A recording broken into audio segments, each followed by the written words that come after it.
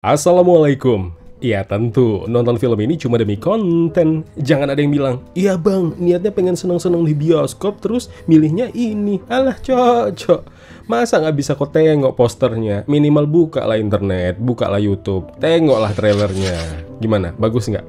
Pala bapak kau.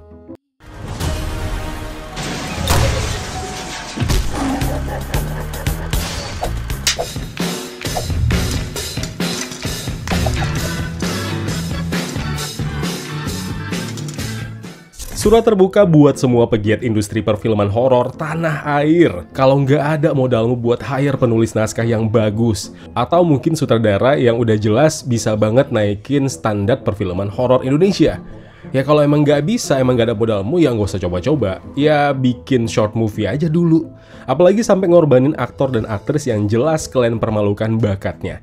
Bakat yang seharusnya dipendam dulu. Hmm, emang nggak ada otak kalian betul. Kalau kalian rilis lah film ini berbarengan sama hantu jeruk purut, ih betul lah. Ini 2024, waras. Kurban Buddha Iblis. Ceritanya tentang Dewi yang diperankan Ingrid Wijanarko bersama kedua anaknya ada Bella dan juga Dio. Jadi mereka ini pindah ke sebuah rumah yang terletak di Bandung. Ya, bukan Bandung kota tentunya. Rumah yang sebelumnya ditempati Purnomo yang diperankan Egi Fadli.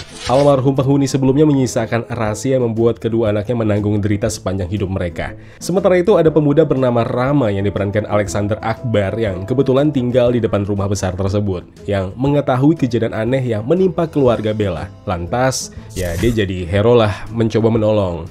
Ya semua jadi korban. Rahasia gelap Purnomo perlahan terungkap yang tentu ada hubungannya dengan iblis.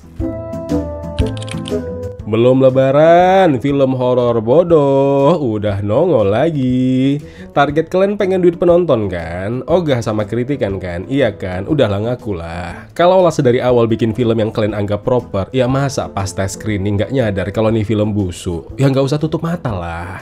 Scene pembukanya aja asli bikin ngaceng. Iya ngaceng, ngakak kenceng. Apakah ini agak lain another universe? Horor-hororan tapi komedi? Ya, lucu.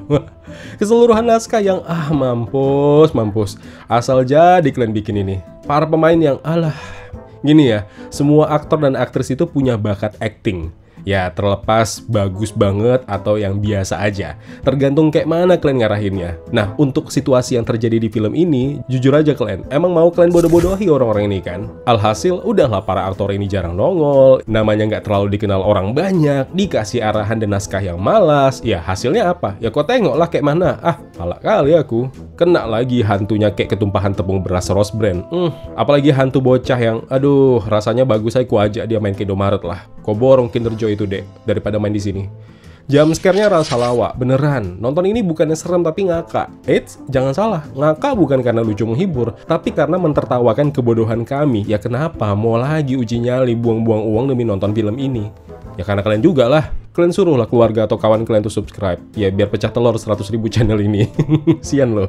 Kemudian soal gimmick yang sok nyeremin yang mungkin awalnya pengen niruin film horor sebelah, film horor sukses, tapi caranya salah. Terus gimana bang? Ada yang bagus nggak dari film ini? Ya mungkin pengemasan visualnya aja agak mendingan dari beberapa film ampas yang belakangan aku review. Tapi ya intinya Kurban Buddha Iblis adalah film horor yang uh sadis, sadis karena sukses bikin penontonnya nangis. Bukan jam berbuka tinggal sekian menit tipis, tapi masalahnya udah tahu di film bikin otak lu kritis, tapi lu aja yang sosokan tetap optimis. Biar ntar kalau ditanya orang film ini bagus apa enggak cuy, Hah, lu jawabnya bokis. Udah, nggak usah nangis. Filmnya butuh pemasukan sis. Anggap aja sedekah bulan Ramadan. Kaidahnya ikhlas, padahal hati miris. Oke lah Ricis, bye. Wassalamualaikum.